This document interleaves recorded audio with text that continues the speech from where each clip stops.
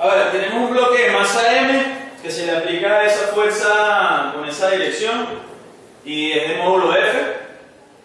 Este, dice que el bloque permanece en reposo y que su coeficiente de roce con el piso es este que está acá. Y nos pregunta, entonces, ¿cuál de las siguientes opciones se tiene que cumplir? Ahí vale, mira, la fuerza normal no depende de la fuerza, la magnitud de la fuerza de roce no depende del módulo de la fuerza. O sea, hay cinco opciones que mi intención es que acá vamos a desglosar rápido el diagrama del cuerpo libre, sacar las, las ecuaciones para ver poco a poco de esas opciones cuál se cumple y cuál no para hacer la, la parte teórica lo más detallado posible. Y, con eso, digamos que ya cubrimos la, las aplicaciones teóricas y prácticas con, con varios ejemplos. A ver, para esa masa M, aquí mismo, vamos a hacerla aquí más chiquita, hay varias fuerzas en cuestión. ¿Sí? Sería la normal que ejerce el piso sobre la masa, vamos a llamarla N, ¿sí? Tiene su peso, que sería mg, es estático, no se está moviendo, es decir, no hay una fuerza de roce como tal que esté generando a lo largo un movimiento. Pero existe un vector fuerza de roce estático. Esta fuerza que está aquí va apuntando, digamos. Esta fuerza que está aquí. ¿Hacia dónde va el roce? ¿Hacia dónde va el roce? Bueno, con esta fuerza, si esto pesa mucho y, esta, y la componente Y de esta fuerza no es suficiente para que esto se despegue del piso, ¿me, ¿me explico? O sea, si yo tengo esto así, es la caja, y yo le aplico aquí una fuerza y la componente en Y no es suficiente para que, para que esto se despegue del piso, es decir, se anule el, el peso en ese caso no hay la normal, se anula la normal, porque observe que si yo pongo una superficie aquí y despego del piso, estás haciendo que la normal sea cero porque ya no estás tocando el piso en tal caso. La estarías tocando en principio de acá, pero imagínate que la estás levantando, pues para decir que la normal no está. Ahora, si la componente Y no es suficiente, no pasa nada. Pero la componente en X de esa fuerza es la que está haciendo que, intentando que esto se mueva hacia allá. Pero al ser estático, hay una fuerza que se está poniendo en movimiento que sería la fuerza de roce que tendría que apuntar hacia la izquierda. Por lo tanto, aquí tendríamos una fuerza de roce que va a apuntar hacia la izquierda. Sería la fuerza de roce. Ahora, para nuestro diagrama, vamos a tener en, en un plano cartesiano, si para allá digo que eso es Y y para allá digo que esto es J, vamos a tener la normal apuntando, la, sorry, la normal apuntando hacia allá, vamos a tener el peso apuntando hacia abajo, vamos a tener la fuerza apuntando hacia allá, que va a tener una componente en Y y una componente en X, y vamos a tener el roce apuntando hacia la izquierda. Rápidamente vamos a sacar las componentes.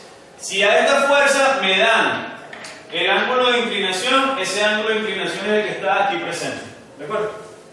Y de forma rápida en el eje X.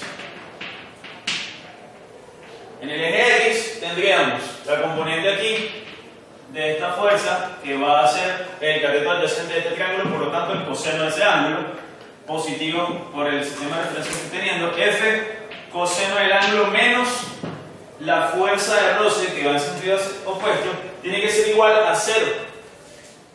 ¿Sí o no? ¿Por qué a cero? Porque estamos diciendo que esto está estático. ¿Qué vamos a concluir de aquí? Que la fuerza de roce va a ser igual a qué? A la componente en X de esa fuerza que se le está aplicando. Y tiene todo el sentido del mundo en ese caso. Eje Y. En el eje Y tengo la normal apuntando hacia arriba. Tengo la componente en Y de esta fuerza que está apuntando hacia arriba, que es F seno del ángulo, por ser aquí el cateto opuesto. Y tengo el peso que apunta hacia abajo, menos m g igual a 0. También porque no se está moviendo en Y. De aquí podemos despejar la normal, podemos despejar lo que tú quieras. Ahora, la fuerza, supongamos que ya es un valor dado, el ángulo es un valor dado, la masa es dado, por lo tanto de ahí podemos despejar quién sería la normal. Y observen que la normal va a ser el peso menos f seno de alfa.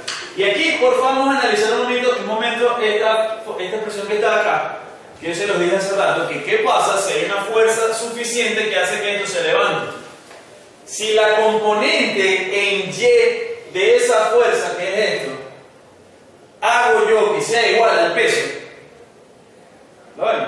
Si la componente en Y de esa fuerza hago que sea igual al peso, dos términos son iguales, cero, hago que la normal se anule. Entonces basta con que yo, la componente Y sea igual al peso para que ella se levante. Es la fuerza necesaria para hacer que ella se levante de la caja. ¿Quién? La componente entonces tiene que, en Y de, de, la, de la fuerza que se está aplicando tiene que ser igual al peso. Ahora, ya hicimos todo el análisis, vamos a quedarnos con esta presión que está aquí, con esta presión de la normal, vamos a quedarnos con todo lo demás para ir viendo las opciones. La primera, la fuerza normal no depende de F. Aquí está la normal. La normal depende del peso y de la componente en Y de la fuerza, F. Entonces la fuerza normal no depende de F. Ni de bola, de bola, de bola que depende de F. ¿De acuerdo? Descartada. La magnitud de la fuerza de roce no depende del módulo de esta F. La fuerza de roce no depende del módulo. Claro que depende. Descartado.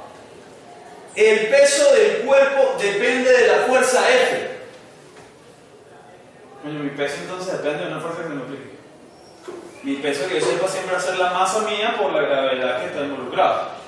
Entonces el peso que, depende de la fuerza F ya hay, aquí con, con, todo esto no tiene sentido tampoco. O sea, el peso siempre va a ser una magnitud en principio, dada una masa M constante. Que por si acaso el peso va a variar si la gravedad varía, porque la masa es constante. Y aprovecho este momento para comentarles de que si tú estés en la luna, tu masa es la misma, lo que cambia es tu peso, porque si allá hay otra gravedad, lo que está cambiando es la gravedad, pero la masa tuya va a ser la misma. Por lo tanto, si aquí tú, por ejemplo, pesas 70 kilos, serían 700 newton si hablamos en, en la unidad de fuerza, multiplicándola por 10 metros por segundo cada que es la gravedad tendríamos 700 newton, que es mi peso. Pero si yo me voy para allá, para la luna, y digamos que la gravedad ya es la mitad de la de acá, es decir, 5 metros por cada dando un número cualquier año, mi masa sigue siendo 70 kilos. Para que allá el peso mío cambie, esos 70 kilos por 5 me están dando 350 newton. Entonces allá mi peso es la mitad de acá, pero no fue porque yo me hice más pequeño, o sea que mi masa disminuyó, no, es porque la gravedad cambió. ¿De acuerdo? Entonces cuidado con esos detalles técnicos. La magnitud de la fuerza de roce, a juro, es mu por m por g. Ahí dice, la magnitud de la fuerza de roce es necesariamente el coeficiente de fricción por la masa por la gravedad. No necesariamente. La magnitud de la fuerza de roce para este caso es la, magnitud, es la componente en x de la fuerza que se le está aplicando. ¿De acuerdo? La magnitud de la fuerza normal, por favor escuchen, la magnitud de la fuerza normal es menor al peso. si este es el peso y le estoy restando una cantidad, la magnitud de la fuerza normal entonces es menor al peso. Entonces esa sería la respuesta correcta. La magnitud de la fuerza normal es menor al peso porque estoy restando una cantidad. ¿Queda claro? Entonces ahí está la respuesta correcta para, esa, para ese ejercicio teórico. Aprovechando de hacer todos los, los, los diagramas de cuerpo libre, haciendo todo el estudio.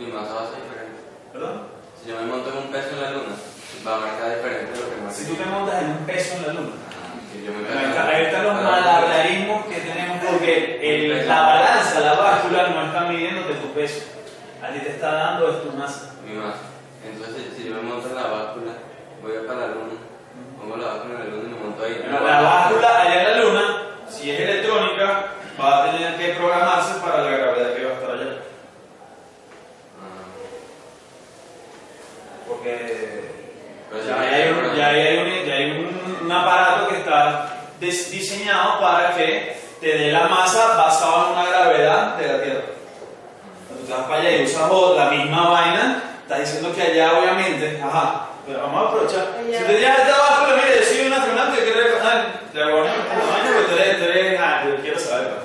Y te agarras, te montas y te llegas a la luna. Empiezas con un huevo.